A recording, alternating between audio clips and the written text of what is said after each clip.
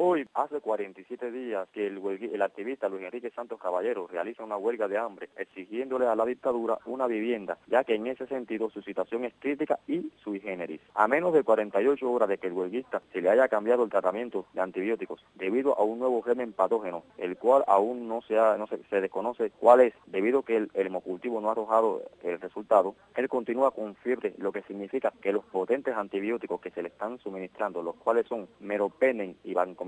no le están dando a esos gérmenes que tiene en su organismo lo que pudiera ser fatal. Hoy supuestamente vendrá el funcionario del gobierno a comunicarle cuál es el lugar que se le ha asignado para que él pueda vivir junto a su esposa. Luis Enrique proseguirá con su radical protesta hasta que su esposa tome posesión de ese supuesto lugar que se, que se le va a dar para que viva. En fin, en este día Luis Enrique podría dejar su protesta o en las próximas horas o proseguirla en caso de que sea engañado, como en otras ocasiones, por el señor Gustavo Benítez, presidente de la Asamblea Municipal en Santa Clara, y Ana Berkis, su homóloga en Manicaragua. Los galenos que atienden el caso, específicamente el doctor Óscar Estupuñán y el doctor opositor Ramón Zamora, han comunicado que la vida de Luis Enrique Santos Caballero sigue corriendo gran peligro aun cuando éste abandonara su huelga de hambre y su gravedad es tal que podría ser irreversible y por ende fallecer. Solo el régimen cubano será culpable si esto llegara a acontecer, por dejar que el huelguista llegue a esta situación tan crítica eh, de salud en una actitud de odio, de prepotencia y de intolerancia total